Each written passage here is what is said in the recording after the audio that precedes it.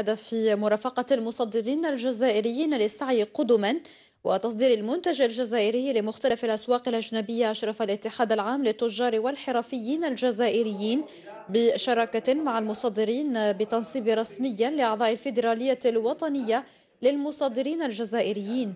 التفاصيل رصدتها فوزية مسعدي. فإحنا هاد المصدرين هادو هم منخرطين في الاتحاد. وكثر. لكن ما لقاوش الإطار وين يتنظموا.